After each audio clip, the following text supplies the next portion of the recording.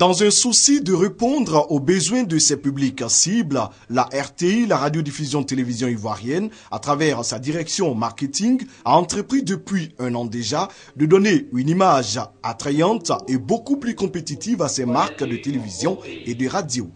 La nouvelle identité de Radio Côte d'Ivoire, dévoilée à l'occasion du lancement de la grille des programmes de cette chaîne pionnière en Côte d'Ivoire, s'inscrit dans cette dynamique. Jean-Luc Nyankouri, directeur marketing, a présenté le nouveau logo, symbole du renouveau du Radio Côte d'Ivoire. Deux couleurs prédominent dans ce logo, l'orange et le vert, les codes couleurs du drapeau national pour marquer l'appartenance territoriale de Radio Côte d'Ivoire. Un logo plein de vie avec un impact visuel tonique.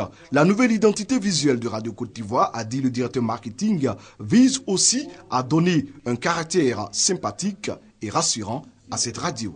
Il faut noter également la rigueur et le sérieux dans le traitement de l'information qui transparaissent. Vêtus de ces nouveaux habits, Radio Côte d'Ivoire part ainsi à la conquête des publics et d'horizons nouveaux, ce renouveau de Radio Côte d'Ivoire sera marqué par une grande campagne d'affichage à Abidjan et à l'intérieur du pays.